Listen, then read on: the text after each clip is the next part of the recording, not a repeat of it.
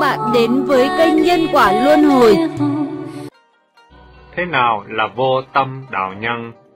Trong tứ thập nhị chương kinh có câu, cũng dường ba đời mười phương Phật không bằng cũng dường một đạo nhân vô tâm. Thế nào là đạo nhân vô tâm? Chính là nói về người tham thiền tại thiền đường. Người nào không có tâm cầu danh cầu lợi, ai đã diệt trừ được năm gốc rễ của địa ngục, tức là tiền tài, sắc dục, danh tiếng, ăn và ngủ nghỉ, và người không có tạp niệm chi trong lúc ngồi tham thiền. Được như vậy gọi là đạo nhân vô tâm. Người thực sự muốn hoàn pháp tại Tây Phương, thì phải tu theo pháp môn vô tâm đạo nhân. Nói như vậy không phải là cái ý mong cầu một sự cúng dường dành cho vô tâm đạo nhân, bởi có ý mong cầu được cúng dường tức là đã có tâm rồi. Trong khi tu ở thiền đường, chúng ta phải chân thành mà tham thiền và tập định, không thể để các vọng tưởng ảo tới cái nọ tiếp theo cái kia, cũng như các hình ảnh đua nhau chớp lên trên màn cine trong rạp hát bóng. Làm như vậy là xa đạo cả mười vạn tám ngàn dặm. Quý vị càng đi thì càng xa quê nhà.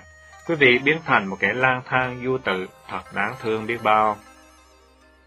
Người có tâm tu đạo thì y thực sự cố gắng dụng công, vì rằng chân chính công phu mới thật là có giá trị. Người tu đạo thì không ham danh tiếng, lời lộc và tránh tự tuyên truyền về mình. Phải tu tập theo tinh thần các ngài văn thù, phổ hiền, quán thế âm và địa tạng Bồ Tát. Bởi vì các ngài thì hộ trì đạo tràng và giáo hóa chúng sinh.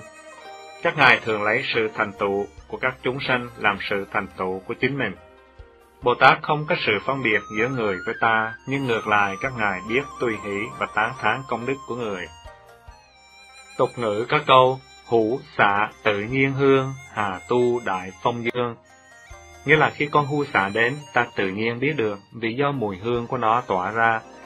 Ý nói ta không cần phải tự phô trương ầm ĩ khi tu đạo, vì rằng vô tâm đạo nhân, khi tu đến cực điểm thì tự nhiên sẽ có cảm ứng làm việc Phật tức là Phật, hành sự việc của Bồ Tát tức là Bồ Tát, thực hiện việc của A-la-hán là A-la-hán, làm việc biệt bợm của ma quỷ là ma quỷ, đó là lý tự nhiên. Người tu đạo không thể kiếm đường tắt hoặc cầu mây mà được, ta phải thực sự dấn thân, qua từng bước chắc chắn, thành tâm tu tập mới mong có ngày thành tựu đạo nghiệp. Hòa thượng Tiến Hóa giảng trong khóa thiền tập tháng 12 năm 1980.